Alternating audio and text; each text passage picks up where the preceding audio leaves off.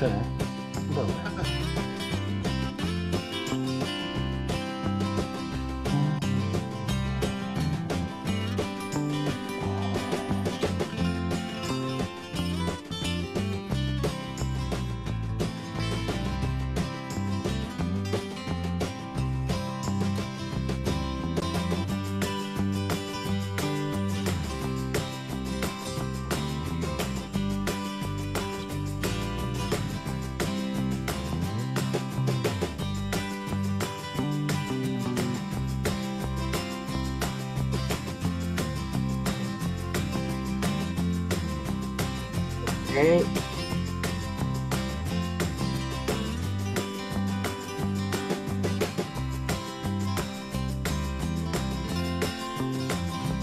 Ho già mutorito tutti.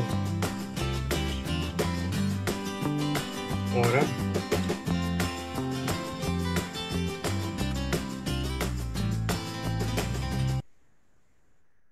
Credo che devo fare così. Parlare con questo, mi sentite? Sì? Io ti sento, loro non possono rispondere.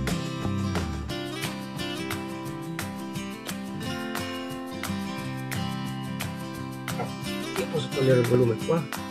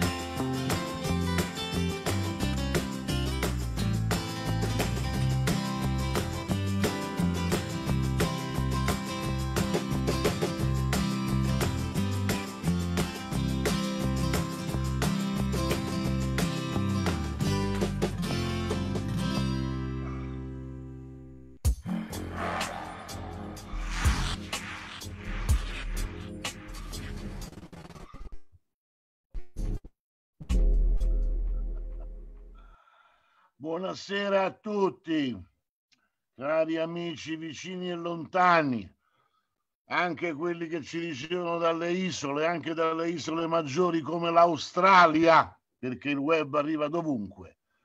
Allora, prima di salutare i miei ospiti, che comunque vi leggo i loro nomi, poi ognuno di loro si presenterà, ma ne stiamo aspettando ancora altri. Vedo Massimo Graziani, Sergio Bellucci, Stefano Becciolini, Domenico Fiermonte e il nostro regista.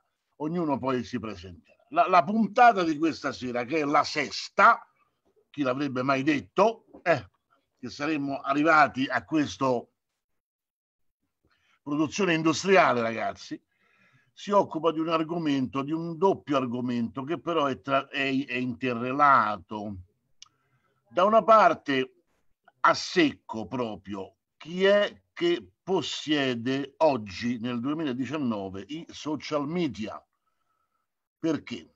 Perché noi eravamo abituati a pensare ai social media come posseduti da alcuni giovanotti, i quali orientati così dalla tradizione addirittura del peace and flower avevano fatto un cadeau alla popolazione mondiale, gli avevano dato Facebook, gli avevano dato Google per fare ricerche, YouTube, Twitter e così via. E purtroppo non è più così e stasera lo dimostreremo che non è così. Questa è la prima parte, perché dalla prima parte deriverà la seconda, cioè che è quella che riguarda poi, a, nostro, a mio avviso, il motivo per cui esiste una censura progressiva. Allora, cominciamo con una breve introduzione.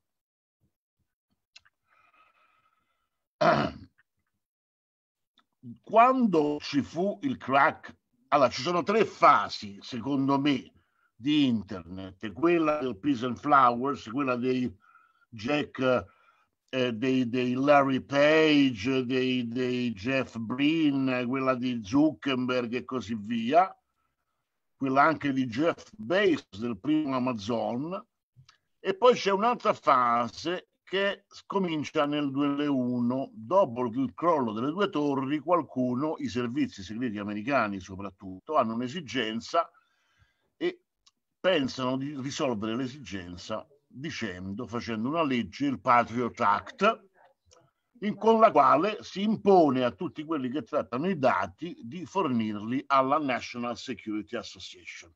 Contemporaneamente c'è l'esigenza delle grandi multinazionali della pubblicità che dicono, visto che ci sono i grandi dati, noi possiamo fare delle campagne targetizzate, profilate, sappiamo esattamente i dettagli dei vostri utenti e quindi ci sta bene così. Questa è la seconda fase. Poi c'è una terza fase, che è quella che comincia dopo il crack della Lehman Brothers. In quel momento là, i grandi fondi di investimento, poi vedremo meglio di che si tratta, trovano una formula per sostituirsi ai precedenti fondi di investimento. E da quel momento comincia una cavalcata che ci condurrà, adesso vi faccio vedere una cosa che è stata studiata, se la trovo naturalmente, eh, ci mancherebbe altro, ma dovrei, ci dovrei riuscire, a, a, a una cosa che ecco qua, vediamo, allora, oh, vedete questa mappa? Qualcuno mi conforta perché io vedo solo la mappa, non vedo più lo zoom. La vedete la mappa? No. Ragazzi, con chi parlo? Non si vede? No, ah, devo fare... Ecco, adesso si vede, no? Allora, vedete questa mappa? Questa è la mappa disegnata in un'università olandese da alcuni docenti ed è la mappa di quello che viene definito il capitalismo finanziario. In questa mappa si notano tre grandi soggetti, Vanguard, che è un, al centro, BlackRock e State Street e poi un po' a destra Fidelity. Questi quattro soggetti posseggono, e adesso lo vedremo anche, posseggono i social media. Non solo, nel senso che questi quattro soggetti fanno investimenti sull'88% delle società quotate nello standard Poor's delle borse americane controllano il 40% di tutte le società quotate e negli ultimi anni si sono concentrati nel possesso dei social media e non solo. Vediamo se riesco a fare delle cose che io non ho mai fatto in vita mia. Ecco qua, per esempio, vediamo Facebook.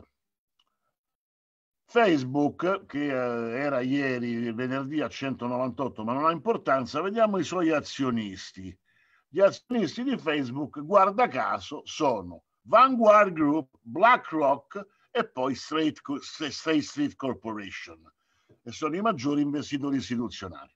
Andiamo sotto e tra i, tra i fondi comuni ritroviamo Vanguard, Vanguard, Fidelity, Vanguard.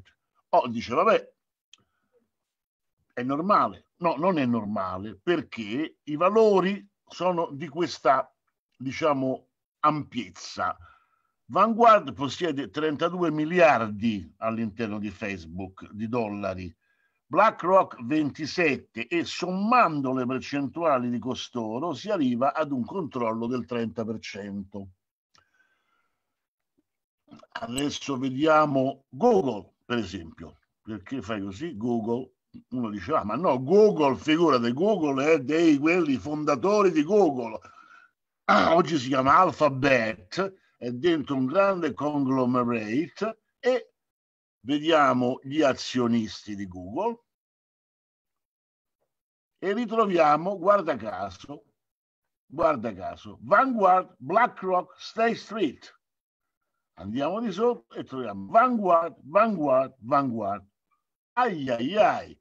Vediamo Twitter, magari dice qualcosa cambia con Twitter. Dove sta? Holders, azionisti, Vanguard, BlackRock, vabbè, c'è anche Morgan Stanley e State Street Corporation.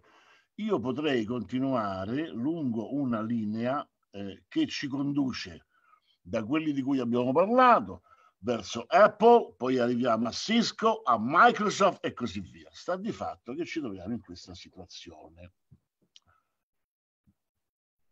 Tant'è che l'antitrust americana è molto preoccupato, ma sono tutti preoccupati perché è cambiata la scena del controllo di molte attività e in dettaglio la scena del controllo dei social media. Perché? I social media rispondevano a due esigenze in precedenza, quella di fornire dati ai servizi e quella di fornire informazioni alle agenzie di pubblicità. Loro, questi signori, mutual funds, asset management, fondi comuni di investimento, hanno una nuova esigenza che secondo molti studi è correlata alla censura. Ecco che ci stiamo arrivando. La nuova esigenza è noi vogliamo allevare una internet generation di gente che investe i propri risparmi in un certo modo e arriviamo a, a, a un altro aspetto. Come vivono i fondi di investimento? Vivono dei risparmi degli investitori e nel pianeta in questo momento gli investitori stanno concedendo a queste quattro sigle e alle altre una somma che oscilla tra 15 e 20 trilioni di dollari. Una somma che in progress raggiungerà i 30 milioni e che diventerà la metà del PIL planetario. Quindi, concludo, chi crede che il suo account viene cancellato perché dà fastidio al PD, c'ha solo una parte di ragione. Il vero grande problema è che su tutto il pianeta è in corso un'opera di setacciamento affinché rimangano nella rete solamente una porzione della Internet Generation che è quella di fornire dati, è quella di consumare certe cose e fare certi investimenti. È così, secondo me è così. Adesso ne discutiamo con i nostri ospiti. Il primo ad avere la parola è Domenico Fiormonte. Domenico, vuoi presentarti per cortesia? Dopo questa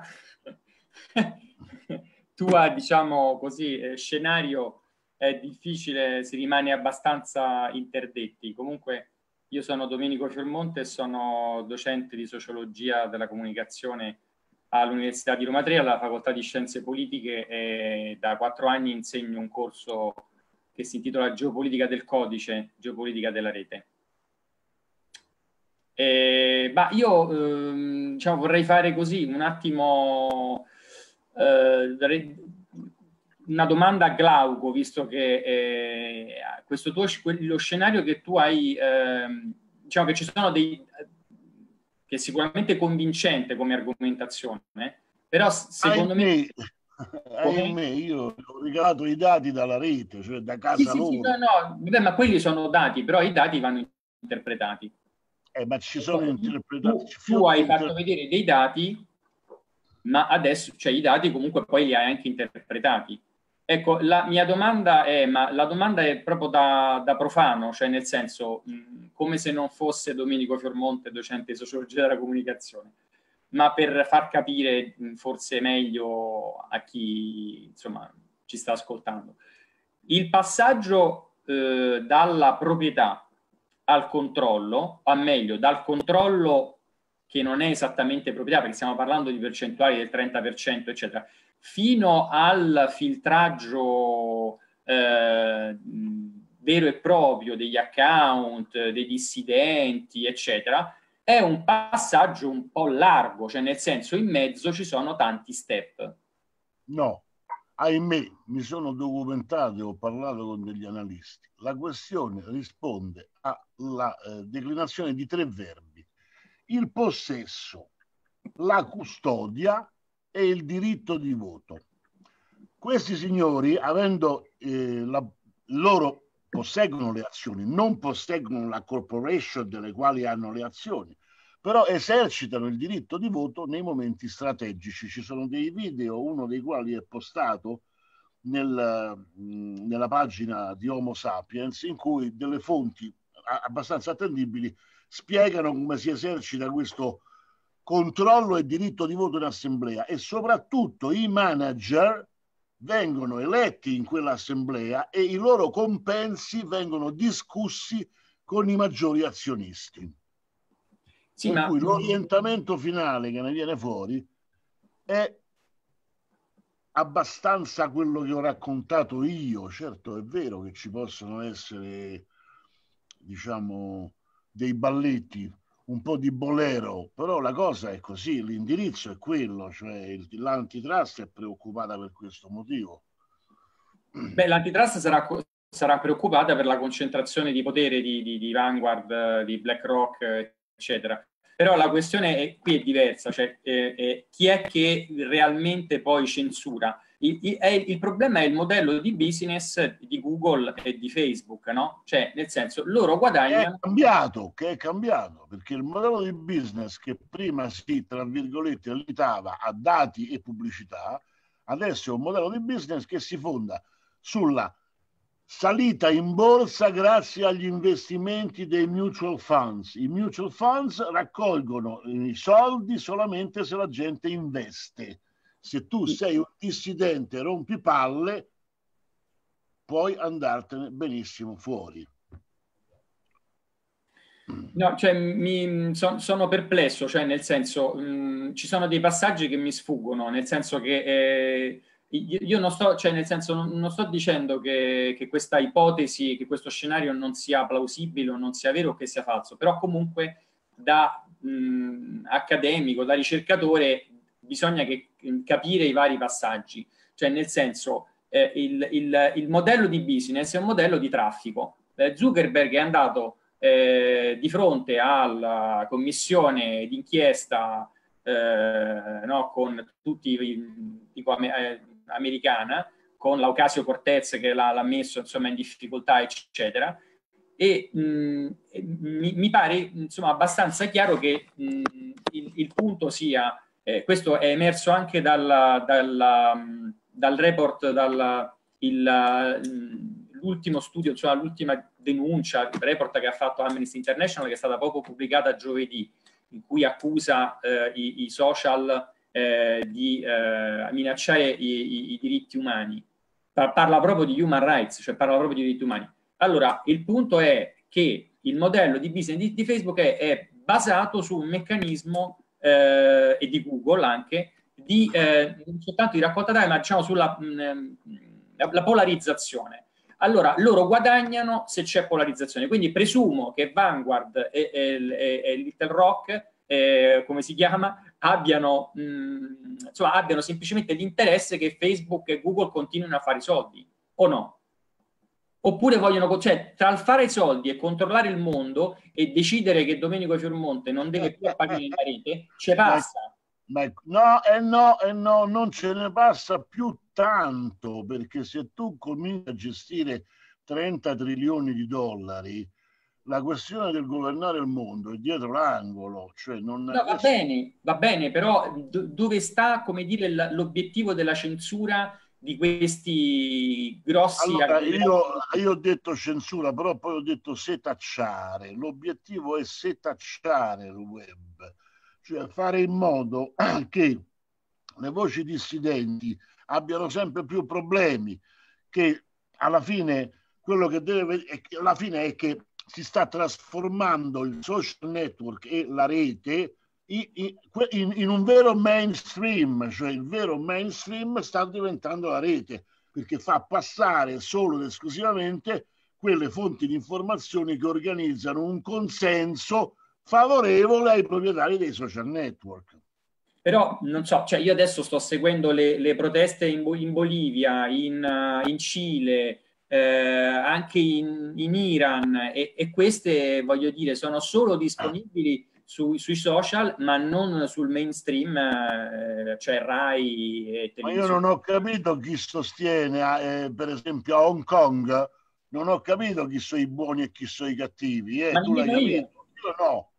Per cui non so neanche in Bolivia chi sono i buoni e i cattivi, non ci capisco più niente. Io, se voi ci capite, Infatti a questo punto sarebbe bene che noi sentissimo Sergio Bellucci, che ci deve lui. Sergio, ti va di dire qualche cosa a riguardo? Sì, certo. Allora, intanto ti vuoi presentare, tu hai un libro in circolazione sì, sì, sì, su, sì. Arg- su argomenti, diciamo, parental, che sono simili. Assolutamente sì, intanto buonasera, grazie a Glauco per l'invito, saluto Domenico.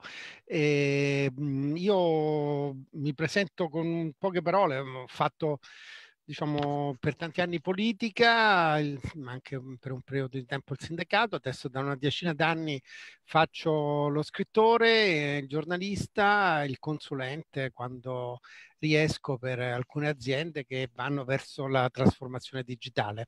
In questo momento è appena uscito un mio libro che si chiama L'industria dei sensi, domani lo presento a Roma presso la, la Camera del Lavoro della CGL e il 7 novembre a più libri più liberi la mattina alle 11 per chi vuole insomma.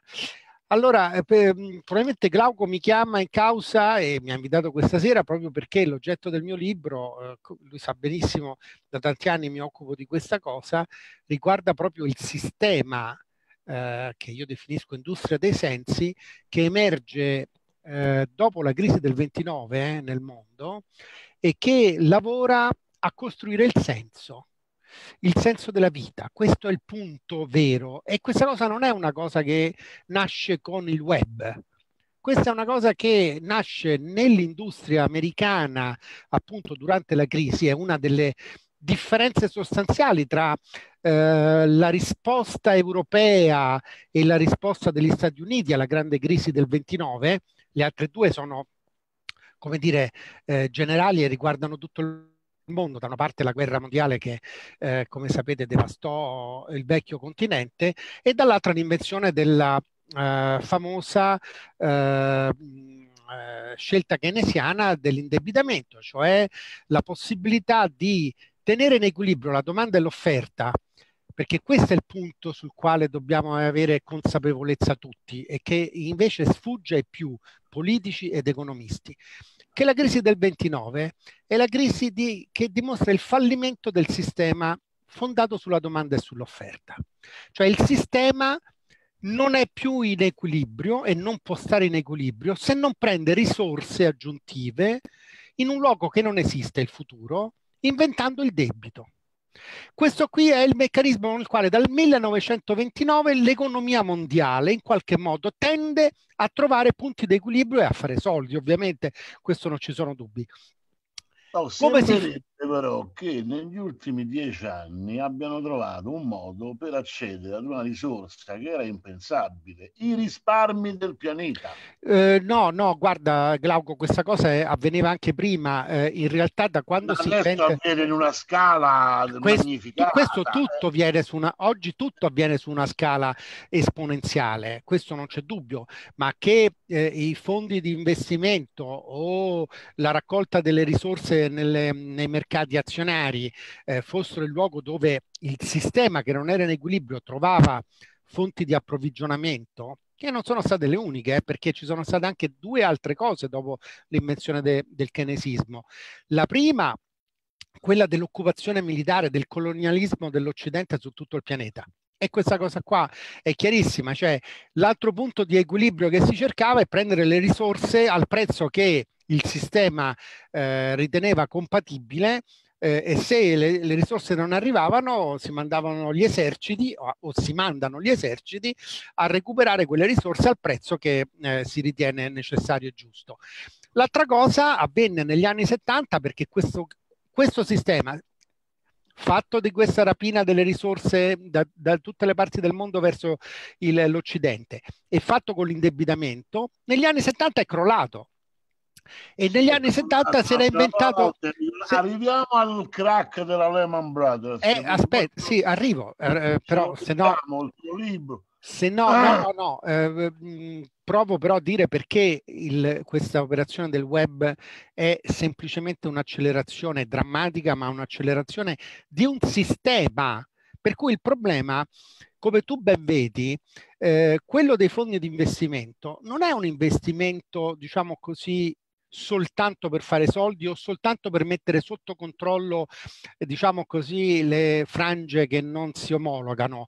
Il problema è che sono tutti terrorizzati dal fatto che se questo meccanismo, diciamo così, va in rottura, non si regge, è l'intero sistema su cui poggia l'economia planetaria che viene meno. Questo è il punto. Ah, assolutamente sì, io forse... Questo è il punto.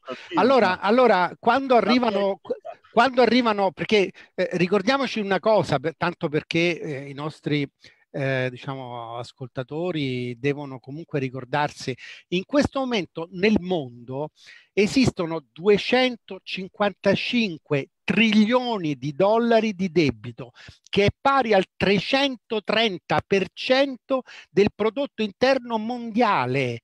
Quindi una cifra che sta com, come dire, al di fuori di qualunque operazione, oltre 73 miliardi di questo debito sono a tasso negativo cioè e girano dopo il quantitative easing inventato prima dalla BCE e poi dopo dalla Fed, gira una situazione finanziaria complicatissima. Ma infatti ci sono fonti che dimostrano che la gran parte del quantitative easing è andata poi, a, è stata recuperata in diversi modi ed è finita attraverso i fondi a controllare alcune società, molte società strategiche, però in dettaglio la puntata di questa sera è perché i social media stanno subendo questo cambiamento, perché questo cambiamento lo rinveniamo anche su altri territori, in Germania, in Canada, dove si stanno costruendo delle compagini di youtubers e di eh, umani che chiedono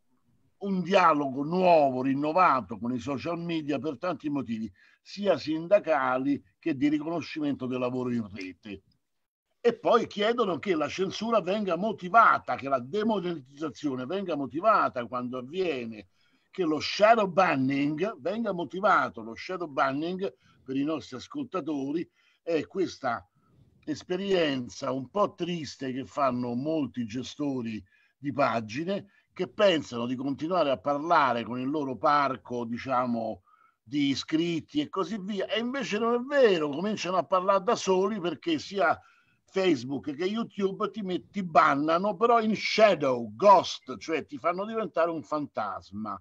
E questi sono poi gli argomenti ai quali in qualche modo vorremmo arrivare.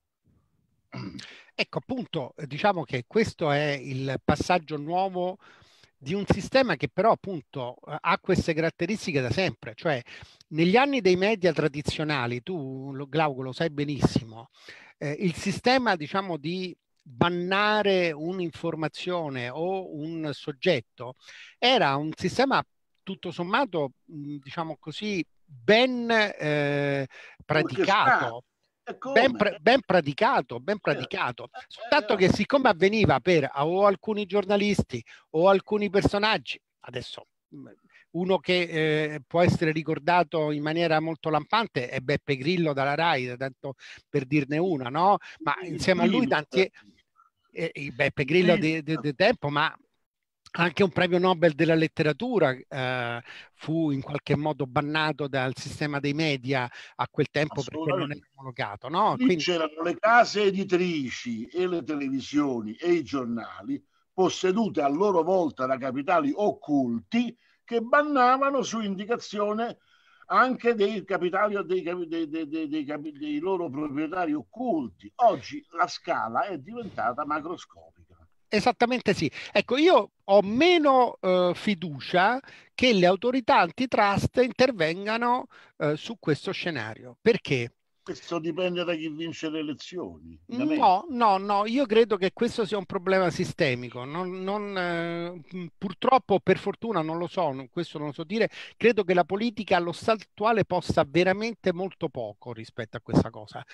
Io credo che oggi ovviamente la, per politica intendiamo diciamo, l'alternarsi di, dei partiti che in qualche modo negli Stati Uniti o anche nei paesi europei si alternano al governo, la politica con la P maiuscola, quella che può decidere le strategie, lì potrebbe tantissimo, ma diciamo questa articolazione che, che, che è presente mi sembra poco, eh, poco non solo propensa, ma con pochi strumenti per affrontare questo elemento, perché vedo invece affermarsi, questo sì, una dimensione globale, ma su questo Domenico sicuramente ci potrà dire di più, di nuovi assetti di potere che vanno al di là di quelli nazionali, che vanno al di là degli assetti di interesse legati alle forme che le istituzioni che abbiamo costruito tra l'Ottocento e il Novecento ci consegnano oggi formalmente sul campo. Insomma, Qui... in sostanza io voglio dire agli italiani che non è che si possono aspettare che l'AGCOM o il Parlamento italiano intervenga su quello che succede nei social media. Ecco, e con questo, perdonami, adesso vorrei sentire un attimo brevemente i nostri altri ospiti certo. e poi eh, che ci faranno loro anche delle domande e poi decideranno a chi fare le domande e Domenico ha sicuramente diritto a una bella replica. Sentiamo Massimo Graziani, per esempio. Massimo. Ci sei? Ah, ecco, sì, buonasera. Eh, sì. Massimo è un Sentite? signore che sì, che vive, vive nel mondo del, del, networking, vive nel mondo della cyber security, dell'hardware da quando era piccolo, però presentati te, che cosa fai? Ah, io eh, particolarmente mi occupo di controsorveglianza cibernetica, cyber TSCM e nello specifico studio questi fenomeni e cerco di trovare una soluzione, una mitigazione Diciamo che il ghost banning esiste, non è una cosa nuova, eh, esiste già dal 2016, eh, perché è più efficace di un ban diretto dell'utente, l'utente veniva cancellato, doveva riscriversi, in questo modo non se ne accorge o non è facile accorgersene e quindi diciamo la persona si deprime si, e alla fine abbandona proprio la, la sua lotta, insomma si stava facendo una lotta e quindi è molto più complesso il ghost o È il fine ultimo che deve essere raggiunto dai proprietari, sì, sì. farlo abbandonare. Sì, sì. E in Ma... pratica, sì. Dimmi poi ci dirai se secondo te ci sono delle soluzioni. Vuoi farci una domanda? Sì, sì, sì. No, a questo punto io mh, mm, più che domanda è, è che effettivamente non c'è solo la finanza sopra a questi perché noi quando no, se, io mi, se, se, io mi iscrivo su Facebook, su Twitter o su ci sono sulle norme, sulle legacy, eccetera, scritte pagine e pagine, se no andiamo a vedere e lì c'è scritto che il sistema ti può tagliare fuori se vai contro le linee guida, insomma. E quindi se fai delle cose, faccio un esempio, su Instagram se fai troppi hashtag, automaticamente il sistema ti mette in shadow banning per evitare loro che eh, si faccia spam, eh, eh, si faccia pubblicità, eccetera. Quindi ci sono dei sistemi già automatici in funzione che però possono colpire, quindi è difficile anche capire se è diciamo stata una cosa mirata, quindi una sniper eh, shadow banning su quella persona lì, eh, oppure se è il sistema automatico perché quella persona ha fatto delle cose che non poteva fare. Dopo casomai parlo più nello specifico. Di... Diciamo, ci sono due aspetti, c'è un aspetto sì. di difesa commerciale, diciamo, sì, che sì, i social media non vogliono che tu ci guadagni utilizzandoli, no? Sì, sì, certo. Questo l'hanno sempre detto. Però adesso c'è anche un aspetto di natura più, io non voglio dire politica, che comunque è politica, di organizzazione del dissenso, cioè di manifestazione certo. della di coloro i quali non sono d'accordo sul mhm. sistema uh-huh. delle corporation. Certo. Eh perché normalmente, Claudio, tu sei una spina che gli puncica e ah, se io avessi una piattaforma mi difenderei così. Perché Vabbè, dai fastidio e quindi... Eh, sì mi metto dall'altra parte, no? Tu sei realista e dici sempre, ma perché il sì, tacchino sì. dovrebbe essere contento a Natale? Cioè, capisco. Infatti, Stefano, ci vuoi dire qualche cosa tu, per cortesia? Apri il microfono. Microfono. Stefano. Io ho aperto il microfono. Buonasera. Buonasera. Il mio nome è Stefano Becciolini, io sono un ex imprenditore del settore informatico dal 1997, quindi anzi per esattezza 95. Eh, ho visto nascere praticamente tutte le piattaforme Microsoft, Linux e mh, anche i primi social. Diciamo i primi social non erano proprio social, ma erano le varie chat di Yahoo, di Messenger, eccetera. Eh, negli ultimi anni eh, mi occupo, sono un blogger, mi occupo appunto di informazione, non controinformazione, ma informazione e negli ultimi tempi sono stato anch'io sottoposto al ghost banding di Facebook e non solo. Io volevo fare una domanda a Glauco eh, per quanto riguarda Facebook. Glauco, tu pensi che eh, Facebook con la nuova, non so se si chiamerà valuta elettronica o moneta elettronica Libra, potrà in qualche modo diventare pericoloso per il sistema bancario internazionale e come si svolgeranno le transazioni? Tu ne sai qualcosa di questo? Vabbè, cerco ultimamente... di sì, cerco di rispondere molto velocemente, per quanto insomma bisognerebbe dare per scontato che la gente sappia di che si tratta, ma comunque ci fu, c'è stato quello che per il momento è considerato un tentativo, perché poi si è fermato, di costruire un enorme drappello di partner in cui c'erano le, le carte di credito, c'era PayPal, c'erano altri soggetti, guidati da ufficialmente da Zuckerberg, ma secondo me sempre da questi tre signori, Vanguard, BlackRock e, e State Street, per immettere nel, nel, diciamo, nel parco utenti dei 2 miliardi e mezzo, che poi anche lì abbiamo visto che Facebook forse ha un 30-40% di utenti falsi, comunque per immettere nel grande parco utenti la circolazione di una non era una criptovaluta come Bitcoin, era una moneta, diciamo, era un, un, un, valore di scambio che si poteva usare all'interno della comunità e quindi questo sarebbe stato una cosa gigantesca perché è come dire che improvvisamente due continenti adottano una nuova loro moneta, no? perché so, se sono due miliardi di persone hanno un peso straordinario. C'è stato un grande terremoto su tutti i giornali, che si fa, che non si fa.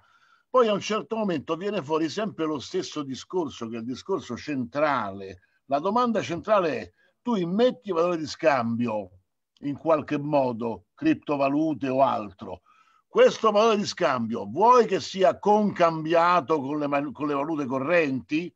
Se la risposta è sì, le banche centrali e in questo caso addirittura il G7 ti dicono eh, allora decidiamo noi se va bene o non va bene. A quel punto le carte di credito si sono tirate indietro, PayPal si è tirato indietro e Facebook è rimasto da solo.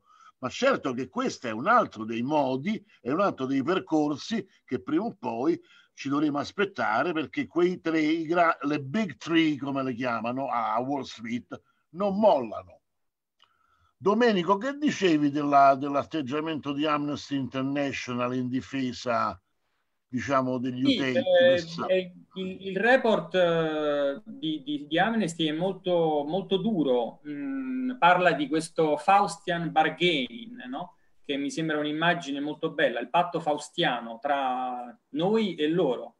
Noi eh, diamo, cediamo la nostra anima, cioè i nostri dati, in cambio della nostra visibilità e di tante altre cose, che sono appunto la ricerca, l'accesso sostanzialmente alla conoscenza, alle informazioni. Forse un altro dato interessante da dire è che eh, il 75%, come tu sicuramente saprai, anche Sergio, delle informazioni, dove per informazioni intendo news, che vanno dallo sport, eh, passando ovviamente per la politica, l'attualità, eccetera, passano attraverso 75%. Questo è uno studio basato su migliaia di URL, quindi migliaia di, web, di, di pagine web, eh, passano attraverso Facebook, Google, più o meno 50 e 50, poi un 15%, un po' meno a, eh, a Twitter.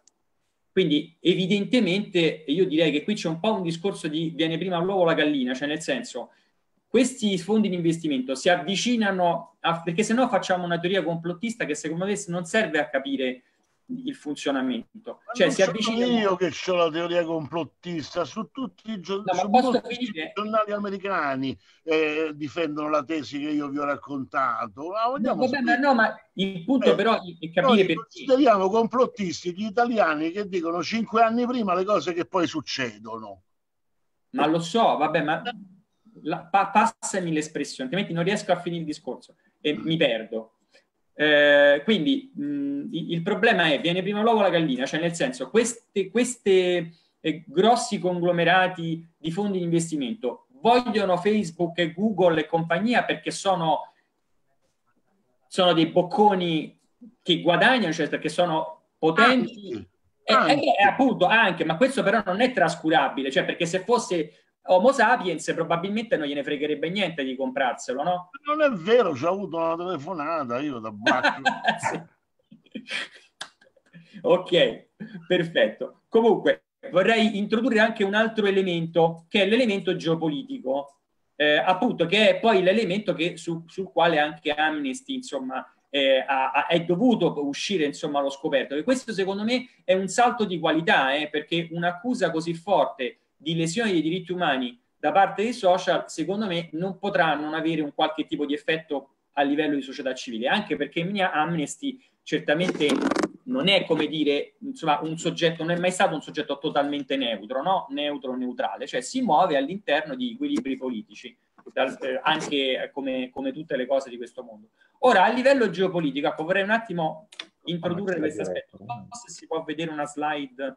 Eh, eh, devi fare share e poi... Vabbè, non è, non è importante. Cioè, vorrei un, un attimo eh, diciamo, introdurre l'aspetto, come dire, della, militare, cioè della, del fatto che sempre di più attraverso la rete in realtà si controllerà, eh, cioè se tu hai i pozzi di petrolio, eh, c'hai le armi, c'hai il controllo politico, ma non hai una buona infrastruttura di rete, in realtà oggi praticamente non puoi fare quasi nulla quasi nulla, assolutamente nulla. Il che poi spiega anche tutta una serie di, eh, di, di, questioni appunto che noi percepiamo, che le persone percepiscono a un livello politico, ma che in realtà, in realtà sotto contengono un problema di controllo delle infrastrutture di rete. Per esempio l'Iran, dalla quale devono passare mh, cavi che devono portare nel Golfo Persico eh, internet ad alta velocità, partendo dalla, dalla, dalla Germania, eh, la Turchia anche un altro un, un pezzo molto importante di questo. Eh, e poi ovviamente ci sono i, i grossi contendenti, cioè Cina e, e, Russia. Ora, la Russia è già pronta, ha approvato mh, proprio quest'anno in una serie di passaggi che io ho potuto seguire grazie a una mia studentessa che ha fatto una tesi sulla, su internet in Russia, una serie di passaggi sulla sovranità dei dati e sulla sovranità eh, della rete. Ora, ovviamente è molto complicato e molto costoso eh, applicare eh, queste leggi nel senso di staccarsi da internet. Però l'obiettivo, l'obiettivo è quello di fare come i cinesi, cioè di essere, cioè l'obiettivo ovviamente sempre appunto che, che, che, che questo, succeda, succeda una, una, una possibile, diciamo, un possibile confronto militare, è di, la possibilità di staccarsi da, da, internet. Quindi il problema geopolitico si sta trasformando in una sorta di... È, una, c'è già una guerra in atto, una guerra che si che si combatte appunto con la prospettiva di una frammentazione della rete, perché è, il, è chiaramente la, la, Cina che ha agito già dal 2000 è già isolata dal resto della rete, nel senso può fare da sola. Non so se avete visto i dati sui data center, fino a cinque anni fa i principali eh, 10 data center, 6 erano americani, oggi sono eh, 3 o 4 cinesi e il resto sono eh, sparsi, due sono americani e gli altri, sono un indiano, eccetera. Cioè la Cina ha costruito al proprio interno i più grandi data center del mondo, che sono fondamentali ovviamente per permettergli di avere un'indipendenza anche dal punto di vista eh, appunto, eh, della, dell'infrastruttura, soprattutto dal punto di vista dell'infrastruttura. La Russia sta cercando di agire in modo diverso, cioè attraverso delle leggi, quindi di eh, eh cercare di obbligare i grossi, le grosse compagnie, ivi incluso per esempio Facebook o, o, altri, a mettere i server sul proprio territorio. Non si sa se ovviamente questa cosa che effetto avrà, se, se, se, poter, se può essere eh, tecnicamente ed economicamente implementabile, ma comunque questo è un, mh, diciamo, un aspetto molto, eh, molto importante. Quindi diciamo che mh, eh, c'è da dire che, cioè, ultima, ultimissima cosa, è uscito un libro un anno fa che si chiama The Code, eh, The Silicon Valley and the Remaking of America. È la storia di quello che anche tu, Glauco, qualche anno fa avevi cominciato a dire, cioè questi da ragazzi... Da complottista. Complottista. Questi ragazzi, ho capito, ma io, non utilizzo in senso dispregiativo, eh? non utilizzo in senso dispregiativo. Questi ragazzi, cioè Bill Gates, cioè Zuckerberg, eh, cioè eh, Ser, eh, Sergey Brin, Larry Page, cioè Google, tutti questi sono PayPal, come tu, come tu stesso più volte giustamente ricordi, sono stati finanziati... La PayPal Mafia, quei 14 ragazzi sono che... stati finanziati, eh, questo appunto è stato insomma, documentato dal Dipartimento della Difesa americano, cioè dal, eh, dal anche, questo. Eh, questo, attraverso eh, il, il, il, queste, questi capital venture, eh, questi, questi appunto fondi di investimento, tra cui la famosa Sequoia, e che, sono, che partono tutti quanti tutti quanti dalla... Eh, se, ecco appunto chi era Don Valentine, il capo di Sequoia che ha finanziato ah, tutte le, le start-up. Era uno che era un amministratore delegato di un'industria di semiconduttori, cioè industria militari, la cui cioè, prima, la prima fabbrica era Noi adesso siamo in una nuova stagione. Sequoia Capital, che già era un gigante che metteva paura, è stato sostituito da questa sacra triade che questa è veramente impressionante. Io voglio dire una cosa e poi passo la parola a Bellucci. Ti ringrazio dell'aspetto militare, poi torneremo sulla censura piatta nell'ultima parte. Allora, io spesso adotto per chiarirmi e chiarire la teoria, la teoria, la tradizione delle grandi caste, i bramini, i guerrieri, i commercianti e gli scribi. Allora, i bramini oramai hanno, hanno, fatto un passo indietro, non ci stanno più, vengono pagati per essere eletti dai commercianti. I militari, ne hai accennato te, speriamo che siano tranquilli perché se no è un delirio. I commercianti ne stiamo parlando perché poi alla fine questi tre, the big three, Vanguard, BlackRock, State Street e gli altri sono dei mercanti. Quindi c'è una negoziazione tra loro. Il problema di queste tre caste è controllare l'organizzazione del consenso o del dissenso. Sì, ma non è che hanno tre, sempre le stesse attimo, le, Noi pensiamo... Cioè, non sono tre, tre blocchi, capisci? No, che... ho capito, però le grandi tribù hanno tutto lo stesso problema controllare consenso e dissenso. Ce l'hanno a Tel Aviv, ce l'hanno al Cremlino, ce l'hanno a New York, chiunque. Le tre caste devono avere il controllo sul consenso dissenso.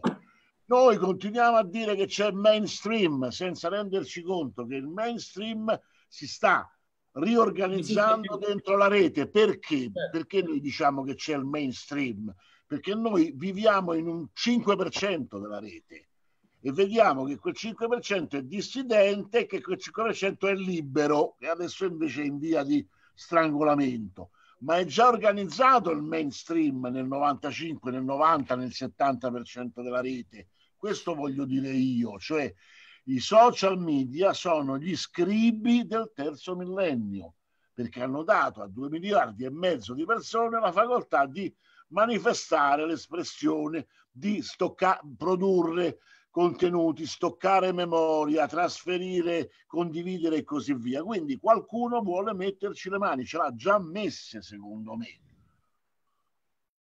Però non è che si litigano anche fra di loro questi tre, per fortuna. Questi tre non sappiamo se litigano, sappiamo che gli incroci azionari consentono loro di manifestarsi in maniera... No, no, non i tre, i tre, i tre poteri, le tre caste. Ah, beh, le tre caste a loro volta sono state sempre ovviamente in una forte dinamica e ci sono state le fasi della storia in cui i bramini comandavano, oppure comandavano i guerrieri, oppure i mercanti. Gli scribi non hanno mai comandato, sono stati sempre al servizio di una delle classi o di tutte e tre le classi. Sergei, Sergei Bellucci, dici qualche cosa di Ma io guarda, eh, eh, prima di dire quello che penso io, farei parlare eh, la mh, mm, ex direttrice del business di Cambridge Analytica, che fa un'affermazione che a mio avviso, come dire, è lampante. Lei dice, cosa che io sostengo eh, esista in realtà appunto da quasi un secolo, anche se utilizzava le tecnologie diciamo, che noi oggi consideriamo tradizionali come la stampa, la radio, la televisione e che invece fino a pochi decenni fa erano le grandi innovazioni. Lei dice, esiste ormai un'industria della persuasione politica che fattura miliardi di dollari, usa potentissimi strumenti informatici e anche psicologici per alterare le scelte dei cittadini, quando votano ma non solo. Sono aziende costruite per produrre servizi di propaganda e disinformazione prendono di mira i singoli individui, ne ricostruiscono idee, abitudini e vulnerabilità attraverso i loro dati personali e li spingono a cambiare comportamento, facendo a volte perfino scelte contrarie ai loro interessi. Cambridge Analytica era all'avanguardia in queste tecniche di manipolazione delle coscienze. Oggi non c'è più, ma esistono altre imprese simili. Ecco, questo è lo scenario che a mio avviso eh, innerva dalla produzione diciamo, delle merci e i modelli di consumo della vita fino alla decisione di chi deve essere il prossimo presidente del Consiglio in uno Stato, di chi deve eh, provare a candidarsi a essere il leader di un paese politico fino ad arrivare al colore che porteremo quest'estate eh, molto diciamo così, contenti di essere alla moda, cioè di interpretare il senso eh, comune eh, che ci porta a essere vincenti o qualitativamente accettati dai corpi sociali nei quali ci muoviamo. Questo è il modello della società nella quale siamo inseriti.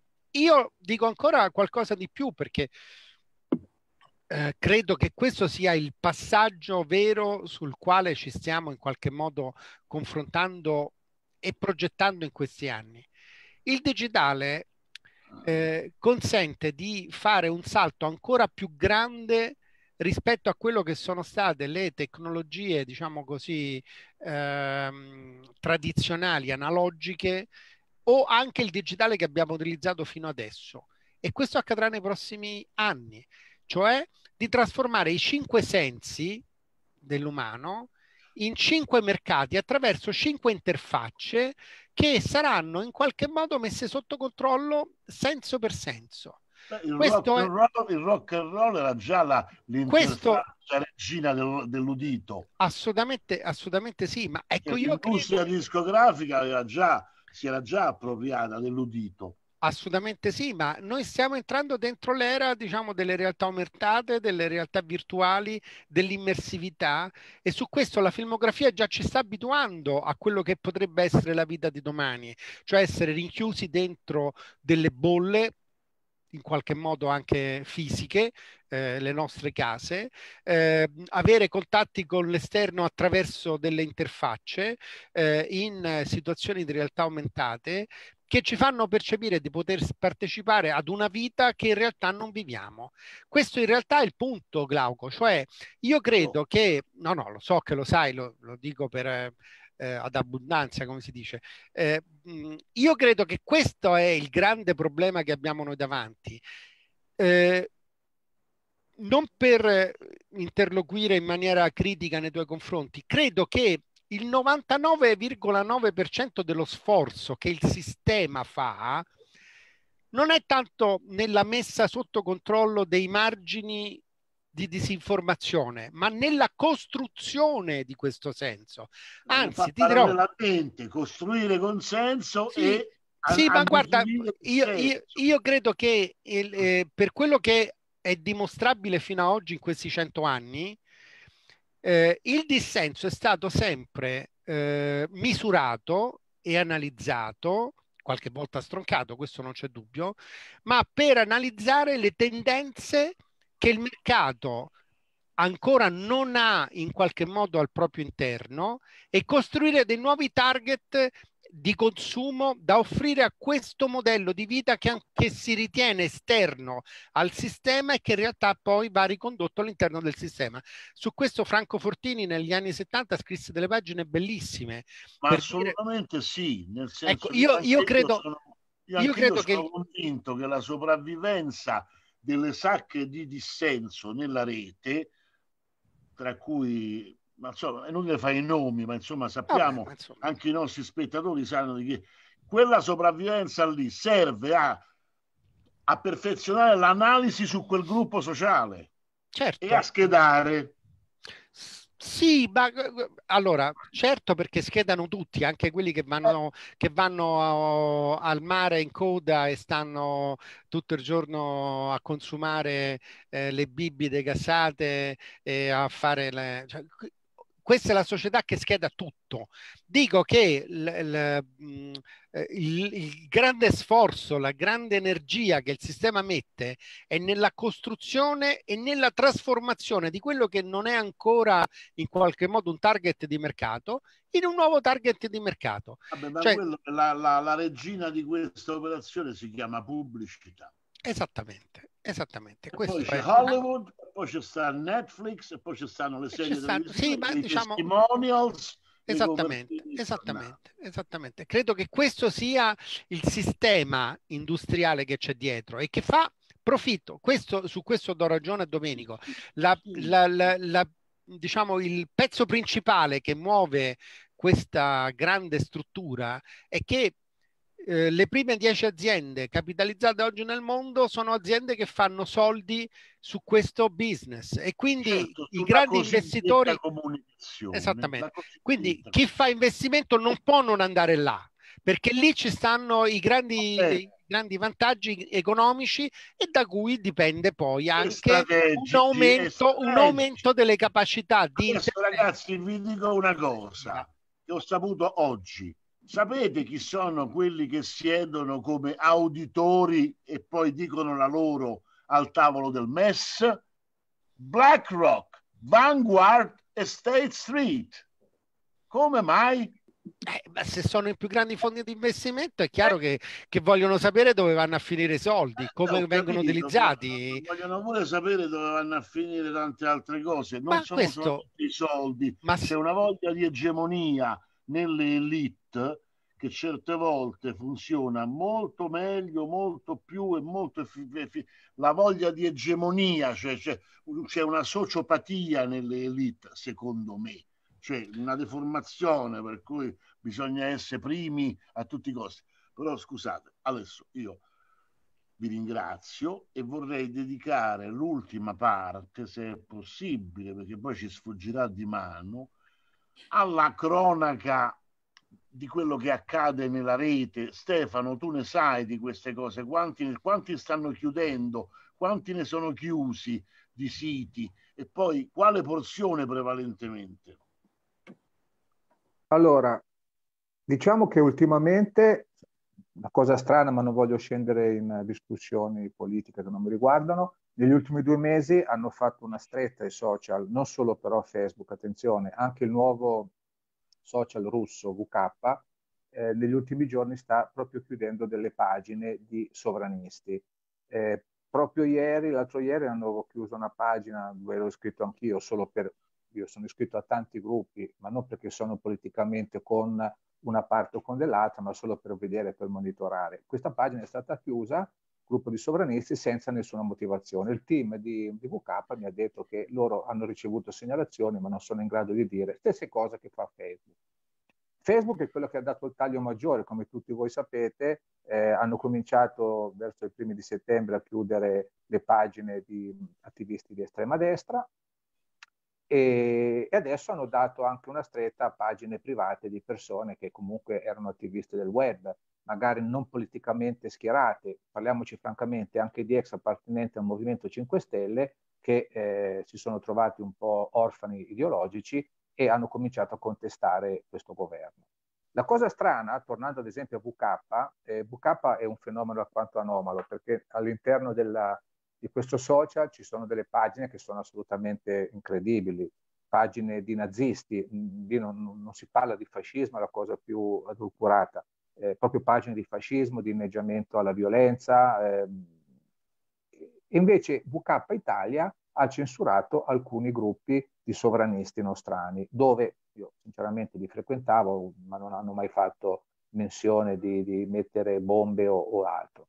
Facebook invece, anche per quanto riguarda la nostra piccola trasmissione, siamo alla sesta, ha operato il ghost banding quando abbiamo fatto la famosa trasmissione sul transumanesimo. E quindi la sera stessa che è finita la trasmissione io ho operato una, una campagna pubblicitaria a pagamento, cioè noi pagavamo fisicamente Facebook per poter eh, pubblicizzare, dare ampio risalto alla trasmissione e il mattino dopo la, campagna, la, nostra campagna è stata rifiutata. È stata rifiutata perché in base alle nuove normative eh, sulla, sulla, sul, sulla, privacy eh, dovevo fornire dei documenti, il mio documento di identità. Quindi ho dovuto attuare una procedura che ha scansionato il mio documento di identità entro 48 ore mi hanno abilitato. Il problema è che siamo ancora bloccati in quella trasmissione. Io ho provato ancora a rifare una campagna abbonamento, tanto così per vedere se funzionava, siamo bloccati. Eh, per quanto riguarda, io ho ricevuto, sono anch'io shadow banding, oggi abbiamo fatto delle prove, Glauco, quindi è, proprio una cosa fresca fresca di oggi, eh, non riesco a essere amministratore di un'altra pagina se non della mia. Quindi eh, sento una... Io vedo un gesticolare da parte di Bellucci e di Massimo Graziani. Bellucci, che succede? Eh, scusami, scusatemi tutti, eh, volevo soltanto darvi una notizia che la pagina delle 6.000 sardine è stata oscurata da Facebook questa sera. Ah, ecco, ah, beh, però... l'ho, l'ho, ecco, data, ecco. l'ho, data, proprio in, in, in diretta perché Perfetto. mi sembra importante. No, no, bravo, ma è importante, bravo. quindi questo vuol dire che eh, cioè vengono oscurate anche quelle diciamo pagine che sono magari un pochino più allineate alla politica nostrana. Però ecco per quale motivo è stata oscurata questo nessuno ce lo dirà mai. Si oscura Tra... a pelle di leopardo. A pelle di leopardo. Altra cosa però che volevo dire molto importante e magari poi Massimo potrà darci anche delle delucidazioni ci siamo accorti non solo io ma molti altri che eh, i link che mandiamo molte volte su Messenger vengono eh, condivisi come allegati non disponibili. Cioè io mando il link della trasmissione di oggi, domani, sono convinto che arriva a tutti i miei migliaia e migliaia di utenti, a uno per uno, invece queste persone mi dicono guarda che io non riesco a aprire l'allegato che tu mi hai inviato. Quindi accade un qualcosa di anomalo. Cioè dall'altra parte eh, non vedono quello che io ho pubblicato perché probabilmente Facebook in qualche maniera lo nasconde. Ma la cosa strana è che non si riesce a capire la logica. E io non riesco a capire, ad esempio, per quale motivo, e purtroppo avevo fatto lo screenshot e sarà disponibile in qualche nella prima trasmissione o seconda, e nella mia pagina Facebook mi è arrivata la pubblicità di un'arma, di una pistola con tanto di proiettili. Ora, io non è che sono un esperto, però me ne intendo una pistola salve. Però capite che a mio avviso è, mh, con tutto quello che è successo negli ultimi eh, tempi di violenza da parte di, di, di, di pazzi, eh, mettere anche la pubblicità di un'arma una pistola a salve non è che sia una cosa molto corretta a mio avviso. E come stanno aumentando le pubblicità di siti pornografici. Ecco, questa è una cosa che ho proprio verificato ieri, che sono arrivati dei video assieme ai miei forse, video. Forse Scusa? era un avvertimento. Una cioè? volta mandavano la pallottola dentro la busta, adesso ti mandano la pubblicità. No, beh, adesso non esageriamo, non credo proprio. Questo qua è un, adesso non mi ricordo come si chiama Wish, è un, è un, un gestore come Amazon, quindi... Eh, sì, ma scusa, No, però yeah. un attimo, io voglio poi che Massimo Graziani è molto prezioso, lui è un po' schivo, adesso si è dovuto riscaldare, ma lui è l'uomo delle soluzioni, per cui io voglio sentire lui, perché lui ha delle soluzioni tecnologiche, ha dell'esperienza. Che si fa per uscire dai social? Dove si va? Massimo. Sì, sì, beh, ho perso un attimo chi, con chi stai parlando. Allora, in pratica dobbiamo intanto io volevo dire una cosa perché eh, in, in no, tutti gli effetti tante cose cioè sì, sì, sì.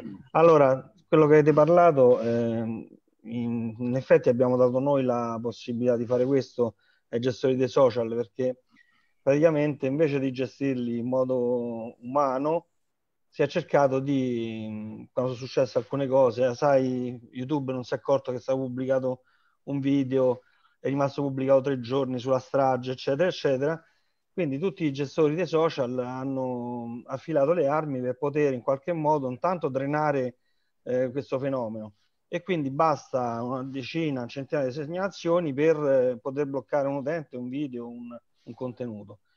Questo poi ha dato il là, a, siccome l'uomo è sempre un animale strano, a, ad altre persone di creare su fantomatiche iscrizioni bot o fantasma per poter eh, diciamo sparare addosso all'avversario e fargli subito cancellare. Tanto eh, Facebook o YouTube il gestore per eh, timore le, le, le, blocca. Poi dopodiché deve fare una, un'indagine ma voi immaginate eh, con milioni di utenti quanto sia complicato gestire questo insomma. le segnalazioni come funzionano? tu basta che ogni utente, su, se tu vai su un contenuto su una cosa, c'ha un bottoncino segnala eh, contenuto inappropriato. Cioè tutti automaticamente... autorizzati a segnalare sì, certo, qualcuno però è più autorizzato di altri? Perché... No, no, no, siamo tutti allo stesso peso, però c'è chi ha dei caricatori da 1000-2000 eh, finte utenze che vanno lì automaticamente, detti anche bot. Eh, scusa, Claudio, sta a fare così con la mano sembra una cosa se vedeva dalla telecamera ah, scherzo e, insomma quindi questo è purtroppo un grosso problema ma si è generato eh, anche da, secondo me dalla stupidità de, delle persone che hanno cominciato a gestire in questo modo ma tu conosci quelli che hanno i bot eh. Eh, ce l'hanno tutti, tu li puoi comprare anche tu i bot. Quindi c'è, c'è sta un mercato e. Ma io non ce l'ho. Eh, Stefano, eh, so. Domenico, non ce, noi non ce l'abbiamo. Perché? E ce l'ha chi servono. E che ci fanno? Allora, innanzitutto un altro problema è che se va a incastonare un altro, perché tu sai che il, tutte quante le new corporation, pure che, che, hanno diciamo, utenza, valgono sul mercato quanti utenti hanno. Ti faccio un esempio. Eh, Team Wind vale sul mercato quanti utenti ha di, di telefono. Ecco perché se passano da uno all'altro. Se Facebook eh, domani eh, se andassero tutti non varrebbe più niente. Quindi se, eh, se a Facebook eh, ha il 50% di, utente, di utenze finte, fittizie, gli conviene pure perché tanto vale di più sul mercato. E però dopo eh, va a finire che è anche complicato. Eh, ecco, facciamo il discorso l'altro giorno. Facebook paga quelli che gli creano le utenze no, finte. Non, pa- non paga, lei guadagna di più perché su ogni utenza finta è un nuovo, quelli un che fanno lo, quelli che fanno le utenze finte, per quale motivo lo fanno? Per lo fanno per poterle utilizzare poi su, per vendere i like. Ci sono società che vendono i like, società che vendono... Eh, e la, allo stesso modo le possono utilizzare in modo, eh, diciamo, infernale per tagliare fuori un avversario, per far chiudere la pagina a un competitor. Eh, e quindi è abbastanza complicata la cosa. Eh, ma no, perché una, un cane si mangia la coda. Sì. Eh, eh, eh, ti dico che perché è difficilissimo riuscire a scoprire se un'utenza è vera o no, giusto? Quindi eh, intanto diciamo il, il, provider del servizio, chi c'ha il servizio c'ha un beneficio, perché se è quotato in borsa vale di più. E, quindi e dopodiché dovrebbe chiedere i documenti a tutti quanti. Quindi, il, il, il, il proprietario li tollera perché gli fanno gioco. Le autorità, sì, sì, le autorità hanno un modo di controllare, gli interessa alle autorità oppure anche loro non gliene frega niente. Ma l'autorità potrebbe riuscire a capire, però deve andare singolarmente, singolo caso. Eh, in pratica, purtroppo, in pratica, come ci sono gli strumenti di difesa per i dissidenti politici come la rete Tor, la rete, eh, le varie VPN di protezione, vengono utilizzate anche da questi sistemi, quindi è impossibile anche risalire da quale paese e da quale eh, diciamo, struttura vengono create. È molto complicato. E non, non facendo un, un, reato, in pratica non è un reato, eh, c'è sta gente che ha 5-6 account, non è che, che per questo deve, gli devono chiudere oppure c'è chi magari vuole fare quello privato, quello business, quello con l'amante, quello eccetera, quindi è abbastanza complessa la materia, però diciamo che fondamentalmente questo che ha portato, ha portato che tutto diciamo, il social network non, non vale più niente, nel senso che essendo ormai la società semi-virtuale, è difficilissimo capire se una notizia è vera o è falsa, se una, una, persona esiste o non esiste.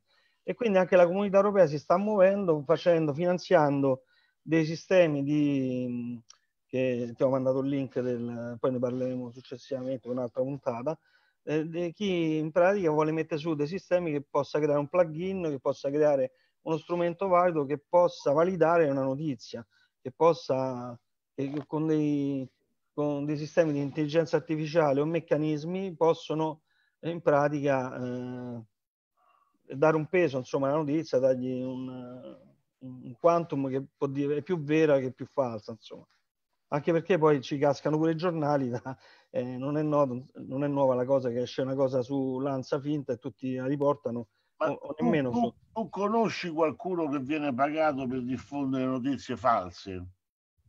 No, no, io non, non, non però ci sono agenzie che, che, che fanno proprio controinformazione. Parla...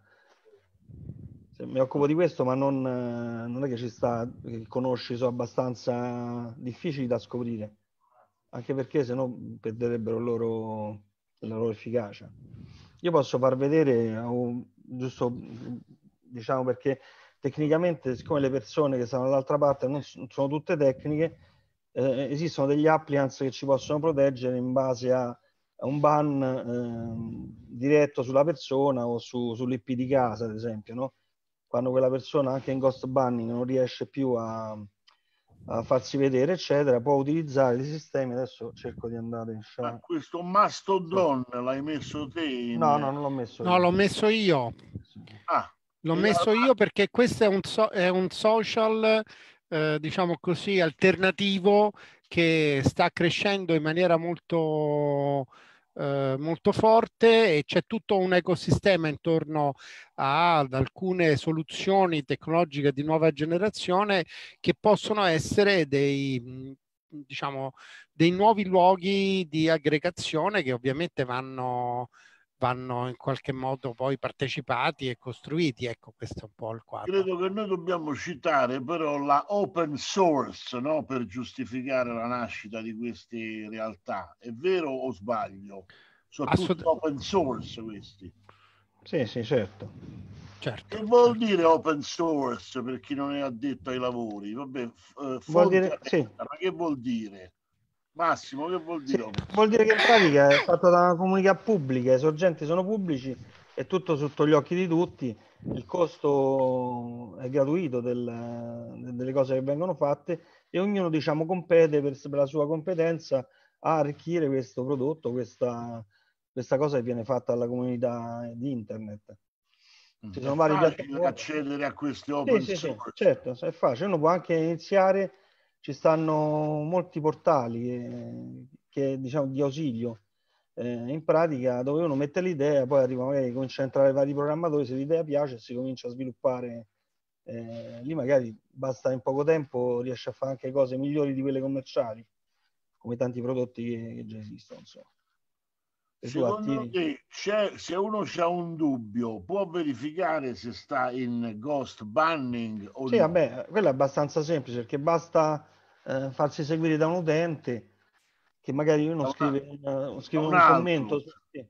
Un altro utente, sì. Un altro utente e eh, poi eh, dice mi mandi uno screenshot eh, e quello automaticamente vede che non, che non, non, esiste, cioè nel senso lui ha scritto e non, invece lui non viene pubblicato insieme agli altri commenti. Ci sono eh, in giro, se voi cercate Ghost Ban con, con Google trovate una marea di casi italiani, una marea di casi documentati di gente proprio che vede, che il suo commento dal suo device è uscito, ma dall'altra parte non, mm. non, è, non è visto da nessuno. È una procedura semplice perché noi abbiamo un sacco di amici anche che avevano 120.000 follower che hanno anche partecipato alle nostre diciamo flussi informazione che dice ah ma io forse sto cioè c'è, c'è una, una parte di ingenuità anche negli attivisti più accreditati che non riescono a proteggersi, capito? Ecco perché io sì, faccio ci stanno, dei, sì, ci stanno dei device, adesso vediamo se riesco a mettere lo schermo. Allora. Mi hai raddoppiato a me così. Sì, so, so, ok, allora. Vediamo. Ecco, tu mi allora, parli... sì, allora ci sono dei device come questi qui, se si può andare sull'ok, se sto online, eh, ce ne sono tantissimi di questi device che hanno un ingresso di, della rete, un'uscita del network, come questo qua, che sono in pratica degli appliance, lo chiamano una scatolina, una black box, dove in pratica viene, entra la rete esce la rete. Tutto il sistema viene fatto automaticamente dalla, dalla scatolina. Molte persone usano Tor software, ma a volte sbagliano, non sanno configurare alcune cose, eh, pensando di essere anonimi, invece poi eh, rischiano perché non sono ci stanno una cosa bella che vedere che ad esempio hanno come si chiamano questi? Hanno un nome specifico? Anonimizzatori, an- anonimizzatori o a Tor Anonimizzatori, sì. Sì, beh, brutto come termine. Eh, vabbè, sì, però insomma... Anona box significa anonimizzatori. Sì, sì, ah, sì, sì, scatola, sì. E sono l'applicazione, una scatolina dove c'è tutta quella parte software che sta dentro, tu non ti puoi sbagliare. Ma costano 500 euro. No, no, no, questo è, sto facendo vedere, questa è per esempio un'idea nata su Kickstarter, che loro volevano 6.800 euro per partire, e invece hanno ricevuto mezzo milione di, di euro, insomma. Questo ah, già ormai in produzione, questa che vedi qua bianca. una raccolta fondi per, per lanciare sì, questa. Sì, sì. Ah, questa qua che vedi poi è, poi è diventato, sì, sì, sì. È diventato, poi ci sono anche degli sì, sì, sì. Senti, per concludere il tuo intervento, sì. Mm, ci parli un po' di questo social truth che ci hai fatto vedere, che ha preso pure i soldi da, sì. dalla Commissione sì, europea. Comunità Europea. No, perché diciamo la Commissione Europea adesso sta proprio finanziando questo, siccome ha visto l'importanza della notizia o della, della, mm, della possibilità di poter riuscire a capire se una notizia è vera o falsa, se una, una persona è vera o è finta su sui social network, questo potrebbe portare una instabilità mostruosa. Eh, vedi, ti faccio l'esempio di Trump che ha denunciato Twitter perché gli faceva ghost banning facendo sparire tutti i, i suoi post de, della sua parte politica. Eh, sì, sì, ci sta. Non sapevo, Trump ha denunciato sì, Twitter sì, perché lo metteva nel 2018 perché ah, il suo partito veniva, era stato messo in ghost banning. E... Twitter che ha risposto? Eh, non lo so, poi siamo sbagliati.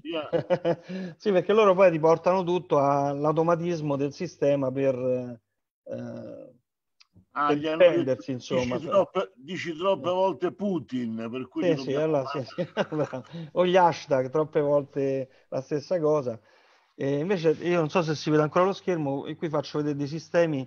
Questo è eh, Raspberry, è una piattaforma open source che è nata, tu compri soltanto l'hardware a pochi soldi e si può eh, tranquillamente mh, programmare, quindi te la puoi costruire da solo, con 20 euro penso riesci a farti una, una, vedi, una, una macchinetta che ha rete d'oro come quella che abbiamo visto prima che costa insomma 600 dollari. Quindi se uno Quindi, vuole cominciare a proteggersi e poi magari riuscire a difendersi, che fa? Va su Google sì, o cerca la VPN o cerca la mia pagina perché io scrivo articoli su questa tematica in italiano e non per tecnici, quindi spiegando tutti i passi delle installazioni. Ah, e qual è la tua pagina? Securequiem.com Se- Securequiem.com, sì, la morte della sicurezza. Che... Ah, Securequiem, ah, sì. Securequiem, ah, sì. Securequiem, eh, ah, va bene, sì. sì.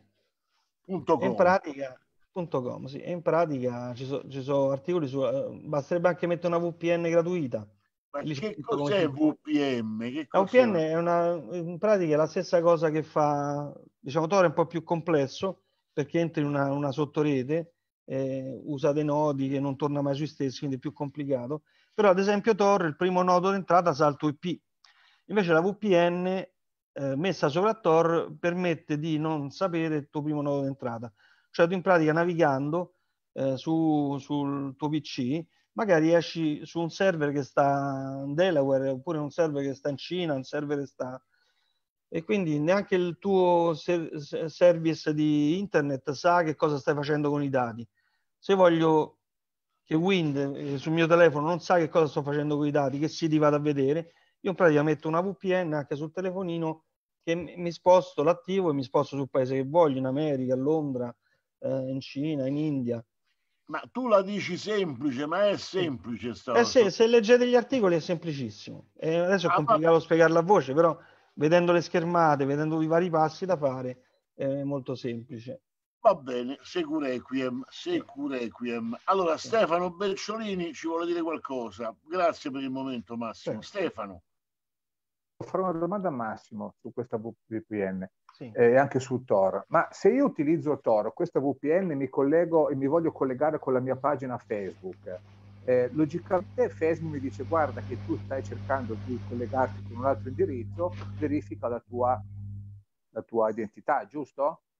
Però siamo, sì, sì, certo. da, siamo sempre punto da capo, qualsiasi cosa io posto, non è che Facebook, sì, tra virgolette, o eh, gli algoritmi di Facebook fanno un controllo sul mio indirizzo IP, ma su quello che io posto. Quindi il ghost banding funziona lo stesso. Cioè, questo è un modo per proteggere la navigazione dei propri dati. Sì, no, non, non solo, diciamo che Facebook addirittura ti dice, ma sei tu perché eh, come esatto. mai ti hai collegato prima, dai, adesso stai in Cina o adesso stai in America, quindi magari pensa esatto. che sei un hacker che ha preso la tua eh, identità. Capito? Ecco, Quindi, il, problema, il, problema, è che poi se io faccio magari 6-7 connessioni con un Toro o una VPN come questa, poi magari Facebook mi può anche chiudere il profilo perché capisce che col sì, sì, sì, sì. Ecco, quindi, Potresti no, sembrare... Dire, Potresti eh, no, sembrare un hacker, sì. No, non vorrei che magari, sai, domani qualcuno dice a lei, è perfetto, posso, posso ovviare questo ghost, busting, ghost banding e uso, uso, utilizzo una VPN, quindi magari si trova poi il profilo bloccato. Ok, no, questo volevo, sì, sì, Quindi questo, okay. questa allora. VPN è un modo per nascondere la propria navigazione, ma non per ovviare ai problemi di, tra virgolette, censura di Facebook o degli altri social. Va no. bene. Sì, sì.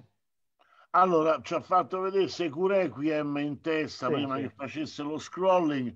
Allora, signori, è strano, oggi vabbè, dovevano esserci anche delle signore, eh, si sono perdute nella domenica sera delle metropoli. Abbiamo belli dieci minuti per concludere in un modo che i nostri spettatori non potranno dimenticare. Io direi Bellucci e Domenico Fiormonte. Uno dei due comincia, l'altro conclude e viceversa. Io cerco di tacermi. Sergio, c'hai cinque minuti per dirci, o vuoi cominciare? Domenico, già, chi, chi vuole cominciare? Anghingo. Ma io... Sì, vorrei sapere molte più cose da Massimo Graziani, ma lo contatterò perché magari facendogli fare un seminario ai miei studenti di geopolitica. Va bene, va bene. le cose di cui hanno bisogno. Forse qualcuno ci sta anche seguendo dei miei studenti. Sì. Ma noi perché qua abbiamo la fortuna di avere Massimo? Perché noi facciamo sempre delle grandi tracciamo sempre, noi ci piace tanto fare mm. grandi scene e così via. E poi in realtà, voglio dire, i nostri ascoltatori sono abbandonati a loro stessi, noi gli diciamo che c'è il lupo cattivo e non riusciamo neanche a dire come fa una seratura. e quindi io penso che speriamo che in corso d'opera, perché questo tipo di cosa sui social media noi lo riprenderemo, faremo altre puntate. Bene, tutto ciò premesso. Domenico. Io vorrei solo um, aggiungere, così come eh, io credo che eh, tutti voi qui presenti, soprattutto eh, te Glauco e Sergio, in realtà sapete le cose sulla geopolitica della rete, sull'economia, eccetera, meglio di me. Vorrei aggiungere un tassello che invece io da ex linguista, da ex uh, sociologo del linguaggio, è un tassello che io osservo da molti anni ed è il problema della diversità linguistica eh, nella rete, cioè nel senso che tutto questo progetto ehm, di controllo non è semplicemente un progetto di controllo militare, politico, mediatico, eccetera. poi ovviamente anche biopolitico, no? come diceva Foucault, perché il problema è qui che si controllano sempre di più i corpi, perché attraverso i sensori, l'altra cosa dicevamo i chip, no? Siamo tutti pronti a implementare, i chip, perché tanto invece di prendere il biglietto della metro mettiamo il nostro polso. Ecco, la questione è che in realtà dietro questo eh, progetto, il mio timore, cioè dietro questa... Ehm, in, così, diciamo, transa, eh, eh, tra, transizione dal, dal, dall'umano, dal, dall'analogico al digitale, si perda la bio, eh, la, non soltanto diciamo, la, la, proprio quello che si chiama la biocultural uh, dimension, cioè la dimensione... Abbiamo fatto bio... una puntata sul transumanesimo. No, no, no, no, aspetta, però adesso più specificatamente. No, per dire che conosciamo, sì. Certo, certo, no, dico però il problema della diversità, diciamo in questo caso io volevo mh, parlare, de, cioè dire due, due, parole sulla diversità linguistico-culturale. Cioè il problema è che qui c'è una standardizzazione, cioè si, si sta operando una standardizzazione attraverso degli standard. Tutte queste piattaforme sono mh, una emanazione culturale di un certo modo di intendere la, di, di, una certa visione del mondo. Questa Weltanschauung, questa visione del mondo, è una visione del mondo dell'uomo, dell'uomo anglofono, cioè dei Five Eyes, se la vuoi, la vuoi diciamo, declinare in senso eh, sicurezza, ma semplicemente di quel mondo che parla l'inglese, che domina, che certifica anche la correttezza della lingua inglese, cosa che per le lingue franche del passato non esisteva, per esempio il latino, e che quindi sempre di più in realtà tende a standardizzare, a uniformare, perché questo è il punto, se tu vuoi controllare, devi uniformare. E questo è, è più facile controllare l'uniformità e non la diversità. E eh, certo, è molto più semplice. Questo infatti è per questo che, un miliardo, che, che Facebook ha un miliardo e passa di utenti. Perché attraverso questi strumenti, poi per esempio Facebook tra l'altro adesso ha lanciato tutta una serie di lingue eh, ma sono sempre un'estrema minoranza, perché stiamo parlando di qualche centinaio di lingue a fronte di 7.000 lingue che sono parlate nel mondo. Per avere queste lingue online servono degli investimenti e questi investimenti non verranno mai fatti perché chi è che ha il potere e il monopolio degli standard e delle tecnologie sono GA e GAFAM. Ecco, questo, questa è la mia conclusione. Sì, e gli investimenti li faranno Vanguard, BlackRock e, e State Street. Fra l'altro, apro una parentesi, qualcuno lo sa, ma BlackRock possiede quote strategiche in tutte le società che hanno una certa importanza in Italia. Va bene? Tra cui quelle certo. delle... Ma infatti Conte, Conte è andato da BlackRock, no? Assolutamente, quando io dico sollevo questa questione non lo faccio solamente per dire ah posseggono i social media, posseggono quote strategiche, pacchetti di controllo azionari comunque e usano i social media per organizzare un consenso a loro favorevole e mi ritaccio, capito? Perché è... Eh, allora, eh, Sergio, noi abbiamo ancora belli cinque minutoni. Grandiosi. allora, Beh, innanzitutto eh, io ringrazio Domenico per le suggestioni che dà, che mi consentono di allargare lo schema che lui ci ha proposto. Lui dice c'è un sistema linguistico che sta in qualche modo avvolgendo e omologando il pianeta. E culturale sappiamo... linguistico, eh, perché poi è una visione cultu- linguistica, cioè Assolutamente sì. una visione culturale. Assolutamente sì. Io appunto nel, nel libro che è appena uscito racconto come negli anni 70 si combatté una grandissima guerra, purtroppo ignorata uh, dai più, eh, dal mondo politico, soprattutto quello europeo e soprattutto quello della sinistra, quando alcuni pa- paesi che allora si chiamavano non allineati posero il tema in ambito UNESCO del diritto a, eh, ad avere un'autonomia eh, nella produzione eh, televisiva dei loro, eh, pa- nei loro paesi. Ci fu un dibattito che durò tantissimi anni con eh, degli scontri incredibili e poi quel dibattito portò ad un documento che si chiamava il rapporto McBride che nel 1980 doveva in qualche modo mettere sotto regola questo, questo flusso di informazioni. Eh, ricordo che gli Stati Uniti posero il veto su quella cosa e il nostro paese si, si, eh, infilò dietro questa posizione insieme ad altri paesi, paesi europei e si produsse una scelta che era quella di poter invadere gli altri paesi con i propri contenuti eh, televisivi. Da quel momento si può dire che il mondo ha avuto un'accelerazione incredibile perché l'industria di senso in qualche modo ha dilagato e ha cominciato ad omologare i processi di consumo e quindi poi i processi di vita e quindi poi i processi culturali legati a queste eh, nuove modalità di consumo e a inglobare in qualche modo tutto quello che oggi noi stiamo vedendo con eh, il digitale diventare una sorta di processo di matematizzazione del mondo. Cioè quello che oggi il, eh, sta facendo il digitale è di rendere in qualche modo matematizzabile tutto quello che può essere matematizzato. Gli americani lo chiamano digital twin, cioè eh, fare il doppio digitale di una cosa in modo che attraverso il modello digitale si, si può controllare quello che succede nella realtà.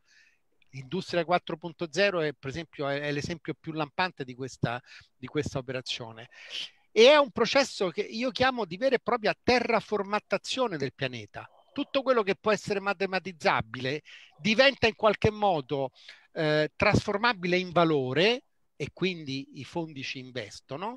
Tutto quello che non può essere matematizzabile diventa un residuo, uno scarto. Esatto. Eh, questo è il processo che sta, eh, che sta andando in maniera rapidissima in porto.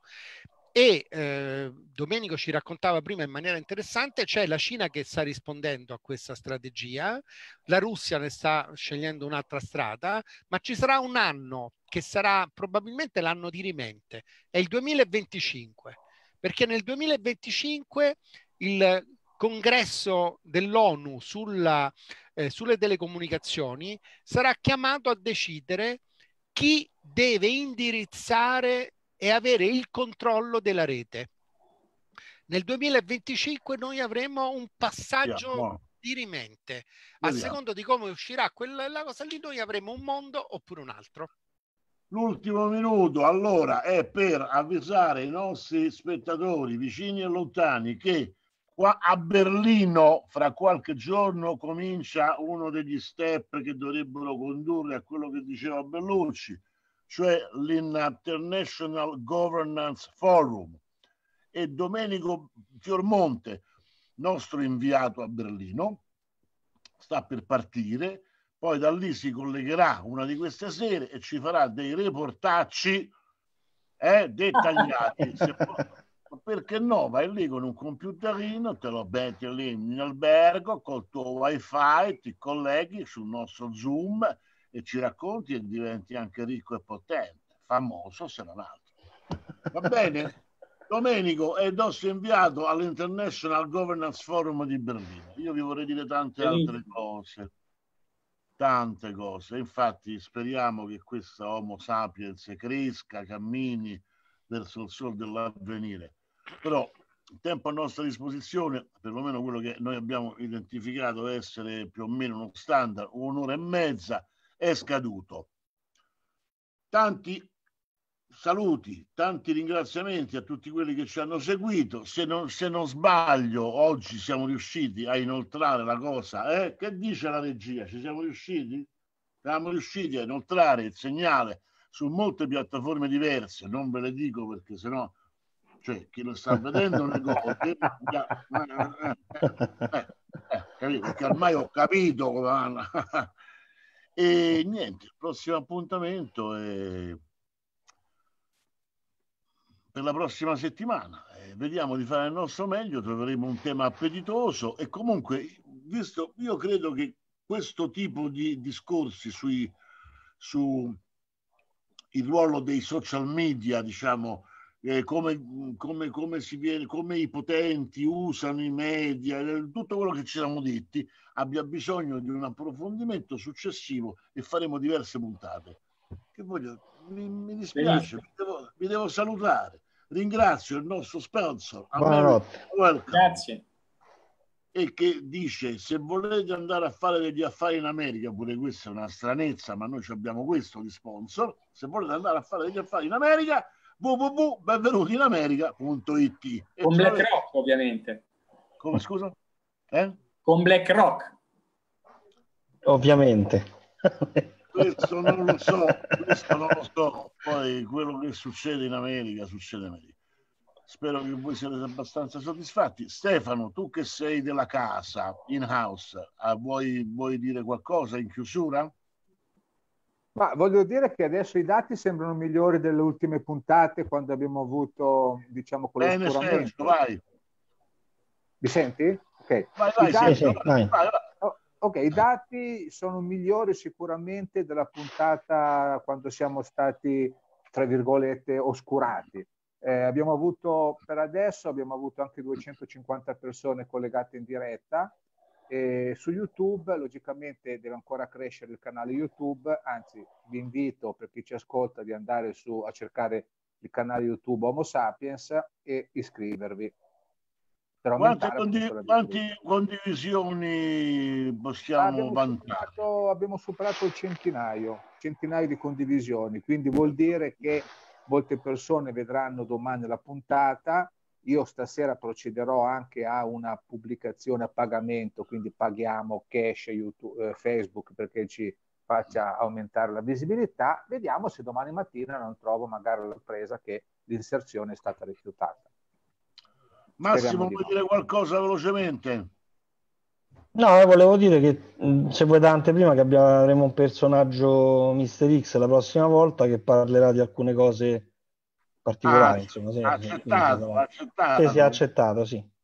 Allora, probabilmente tra di noi, con noi, la prossima volta ci sarà un personaggio misterioso che ci dirà delle cose Dietro le quinte, sì, interessanti. importanti, sì. interessanti. Va bene, buonasera a tutti. Buonasera, buona serata. buonasera, arrivederci, a presto.